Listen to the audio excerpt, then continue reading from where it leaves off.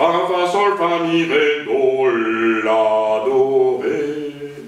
Sinon, là, on les regarde. A, B, C, D, E, F, G. Là, on écrivait une euh, minuscule A, B, C, D, E, F, G. La voix pesantimale, comme monte et cuit de qui l'aval, avaler, ça signifie descendre. Si vous lisez les che- les chevaliers- le chevalier avala son cheval,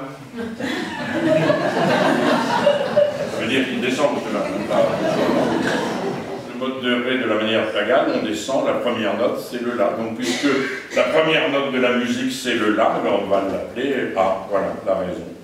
Pas compliqué. Vous pouvez l'expliquer à vos petits-enfants.